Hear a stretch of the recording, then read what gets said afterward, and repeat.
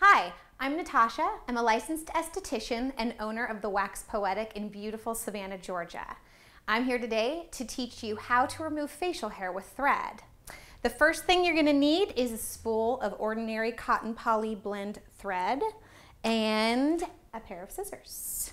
So we're going to go ahead and measure out our thread from fingertip maybe a little bit past the elbow just so we know we have enough room to do a cheek, which is the area I'm going to be working on on my beautiful model Erica today.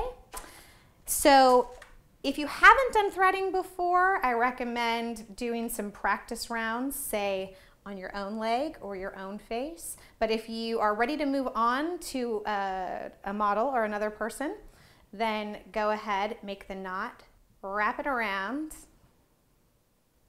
make a knot,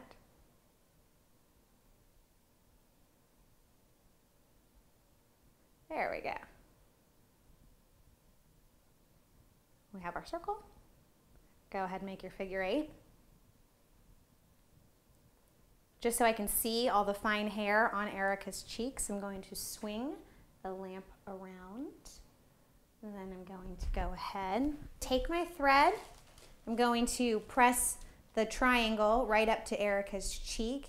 And then I'm gonna go ahead and zap it up.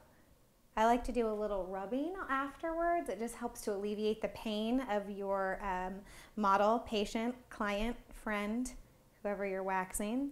And there you go. You just go ahead and keep working in straight lines up and down the cheek area until all that little peach fuzz is gone.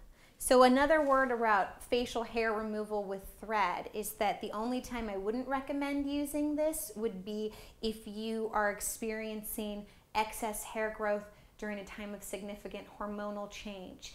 If you're newly pregnant, if you've changed any type of birth control pill or hormone, you don't want to make any of that hair growth permanent by removing it. You would want to get off of the medication or wait until um, after the child was born before you would start removing that hair.